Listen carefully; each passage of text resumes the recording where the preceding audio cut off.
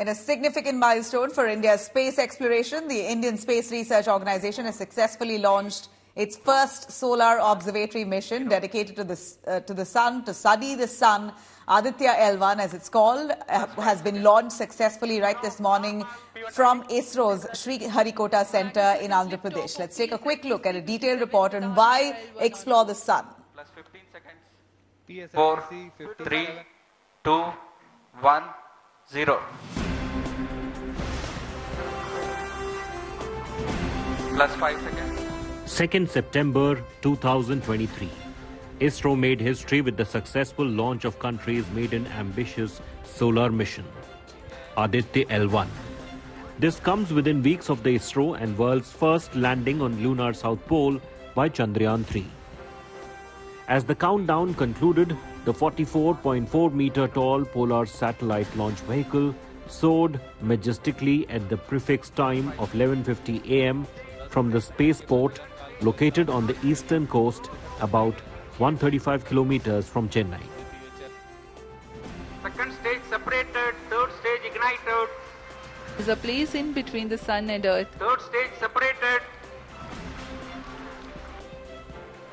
Fourth stage engine started. At the fourth stage of the launch, the spacecraft separated from the rocket nearly an hour later at 12:54 pm, making it one of the longest missions of the PSLV. प्रथम भारतीय सौर अंतरिक्ष यान निकल चुका है सूर्य के तेज से विज्ञान को प्रकाश करने भारत माता की जय chants reverberated across the launch site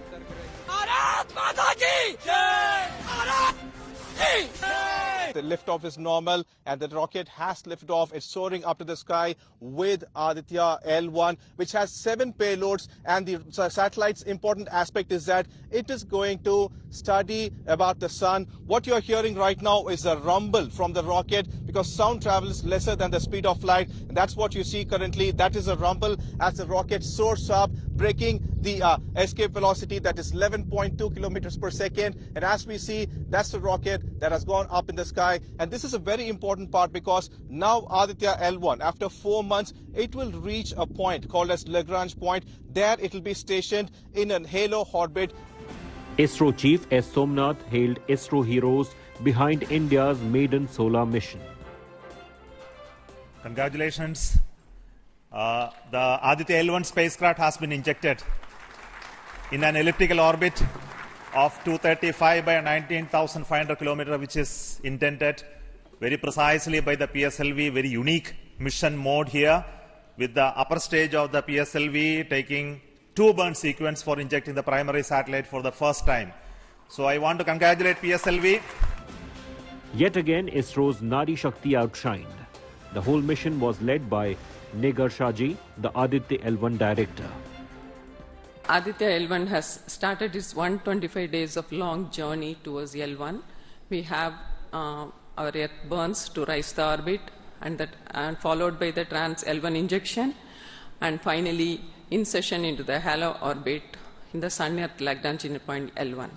Once the Aditya is commissioned, it will be an asset to the heliophysics of the country Prime Minister Narendra Modi also hailed the tireless scientific efforts of ISRO heroes. For the next four months, Aditya L1 is going to continue his journey. And ISRO putting out commands right now. I can hear it faintly on the side that everything is going normally. You can see that, in fact, PSLV and Aditya L1 with Aditya L1 inside has now taken a turn moving towards, uh, in fact, uh, higher and higher away from me. I can tell you that there was a point when I could hear it so clearly, that roar of the rocket. It's, it's surreal to say the least. But that right there is a successful launch. Another feather in the cap for our ISRO heroes. Congratulations to ISRO. Aditya L1 has taken to the skies. In four months from now, he'll be close to the sun. With video journalist Abhishek, this is Akshita Nandagopal reporting from Ground Zero from Sriharikota here in Andhra Pradesh for India Today.